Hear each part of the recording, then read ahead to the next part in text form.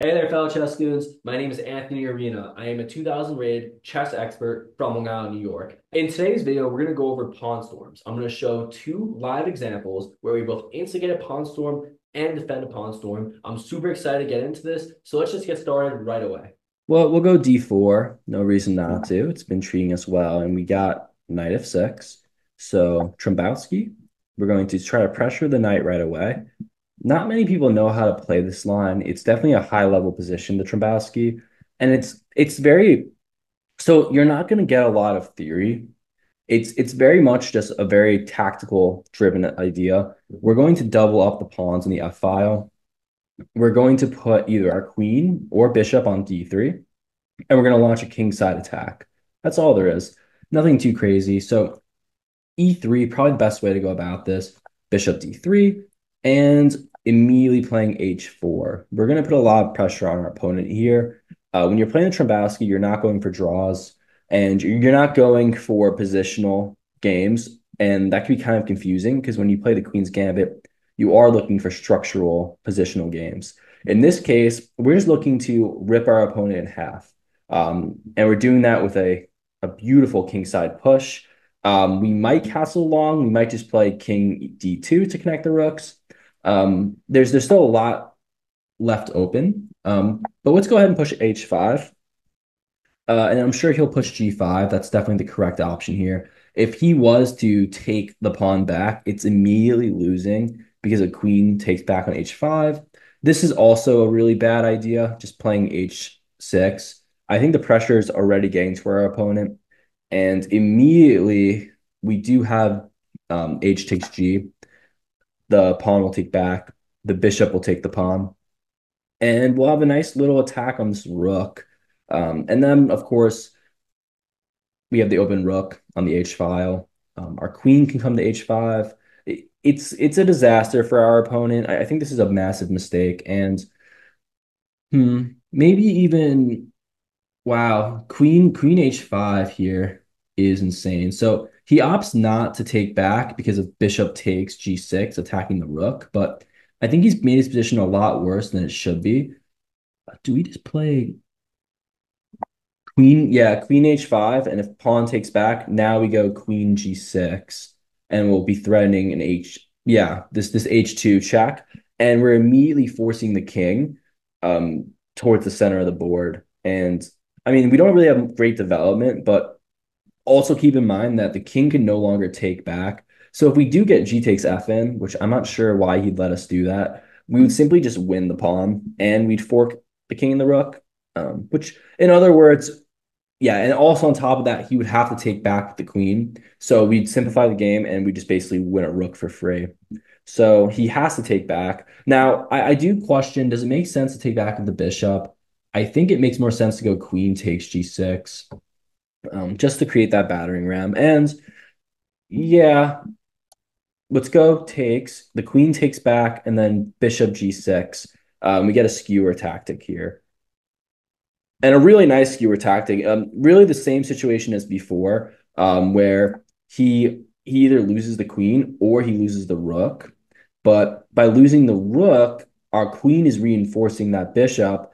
Um, so the queen will either go to f8, e7, maybe even d7, trying to just invade the bishop. And just notice that this rook is all by its lonesome. And it's double attacked. Don't get me wrong. This is a reinforced bishop. It's very dangerous. Um, and here we go. Bishop takes. Bishop is going to attack that queen. And it's it's hard here. Yep, just game over. All right, guys, continuing with the speed run. Let's see what we got here. E4, E5, and what's our opponent going to try here? Yeah, knight F3. We're going to go knight F6. And notice how the tension is kind of around this E5 pawn. Um, bishop is going to be attacking F7. We're going to go ahead and play two knights with knight F6. And we'll see what kind of attack our opponent goes for. It looks like he's going to castle. We'll get our bishop out to F5. And I'd watch out here because he has some Evans Gambit ideas by playing b4. Uh, maybe he'll probably go c3, then b4, and try to trap our bishop. But for now, I'll go ahead and castle. I'm waiting for it. I know it's coming. Um, not yet though. So no problem there. Let's see what he tries to do here. I, I I have a feeling C3 is coming any second now, and this is a thematic idea you need to watch out for. It's a pawn storm on the king side that would end up leading us to losing our bishop. Yep. Um, so we're gonna play a6 here. This is the easiest way to avoid those pawn storms. And really what we're looking to do is defend this while keeping our bishop on this important diagonal. Notice now when he pushes even further, our bishop can just go to a7 and there's no pawn storm anymore. There's no threat. So we're okay. And yeah, I do see that he's looking to to trade off bishops here. So let's just try knight g4 because I would really love to avoid the trade of bishops. Um, it looks like he's able to to stop us from avoiding it, but still knight knight to a7 and we can push b5 and then go ahead and play knight takes b5. Either way, we've successfully refuted the whole pawn push idea. I also like knight to h6 here, believe it or not. Um, ju just for the simple reason that I'm going to scoot my king over to h8, and then I'm going to play f5. And what we're doing with f5 is, yeah, why not? f5. And then pushing to basically open up this rook. If pawn takes, maybe pawn takes back. Maybe it doesn't. Maybe I just play b6. Let's just take. Let's just take. Um, and and then push. We'll take and push. Notice that we have three attackers on f5 here. We're going to take back with the knight, and we're going to be in good shape to, to go for some tactics. Um, our knight is trapped here, but if the pawn ever pushes down to b6, we also just take back with the pawn. So I'm not particularly worried about these threats. Um, let's go. Let's go pawn takes. And yeah, I think he messed this up because notice that after the knight takes back, we can just push this pawn here in the center. Um, and we're attacking the bishop and the knight. So right away, we find a tactic. He played a little too aggressive there, just going for that pawn storm. Um, and when we refuted it correctly, it put us in good shape. Though he still has tactics on the board. Um, for example, guys, um, notice that if we ever move this knight, the rook is hanging. So we'll just go ahead and take back right away. Um, we have to be very careful because he's going to put some pressure on this knight. So let's go. Yeah, let's let's go ahead and take. And and I'm sure either the knight or the pawn will take. If if the pawn takes, then we just trade queens. I have no problem with that. Um, our bishop will probably go to f5 so that we can connect our rooks and eventually move this knight out of the way. Um, interesting. Let's um let's go ahead and consider our options here. I want to connect our rooks really bad, like desperately. Um, but if pawn just takes, I don't see the knight as a really threatening position. Yeah, let's just take. I, I don't see what he can do here. I mean, we're pretty much defending. Oh, wow. Okay. So he just goes ahead and takes back. We're going to take. And and let's go, let's go bishop to d7. The idea behind bishop d7 is to connect the rooks, but we're also trying to exert control over e6. Um, and our knight will come to c6 now. From here, we can maybe possibly trade off rooks. It looks like our opponent, he's very aggressive, um, which I, I do respect the aggression, but what do we do here? I could fork the knights, but that doesn't necessarily help the situation. I could play knight f5, but that could fall to some ideas as well. I could just play bishop c6. I see bishop c6 as a viable option. Um, the knight is still defending f7, so these ideas aren't that scary. The rook's defending f7 as well. Um, we can still play, okay we can still play knight b5. And now we're attacking this pawn.